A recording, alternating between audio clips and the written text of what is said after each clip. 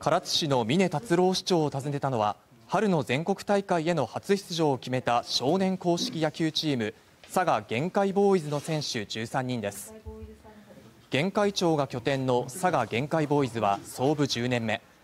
現在玄海町や唐津市それに長崎県などの中学生25人で活動しています。去年11月に開催され12チームが出場した西九州支部の予選で優勝し初めて春の全国大会への切符を手にしました。51回目を迎える今年の春の全国大会は全国から42チームが出場する予定です。最小失点に抑えて少ない中のチャンスでそのチャンスを逃さずにやっていきたいです。